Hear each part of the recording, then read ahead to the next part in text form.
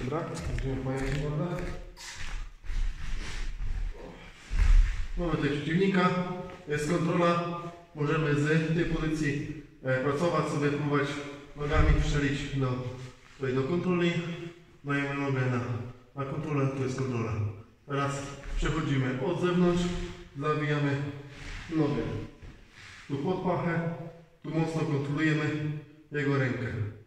Odpuszczamy go, czyli dajemy go lekko wejść na siebie, popuszczamy. Teraz tą nogą wchodzimy tu, w tą stronę i dajemy mu wejść do pozycji bocznej. Idealnie by było, jak jeszcze zapiął się tutaj za naszą szyję. Łapiemy go za, za plecy, za, za bark. E, tutaj zapinamy trójkąt nogami i tu jest technika.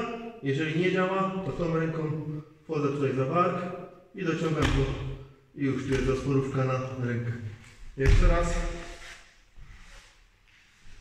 Czyli mamy pajęczą gardę, pracujemy, wchodzimy sobie naokoło, łapiemy tutaj, teraz podpuszczamy go, już szedł do bocznej, łapiemy go za plecy, tu mamy rękę wolną, poprawiamy sobie tę rękę, wkładamy do trójkąta, nogi lekko ściskamy.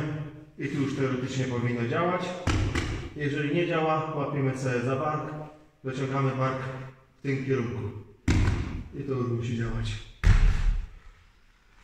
Na drugą stronę jeszcze raz. Robimy tak.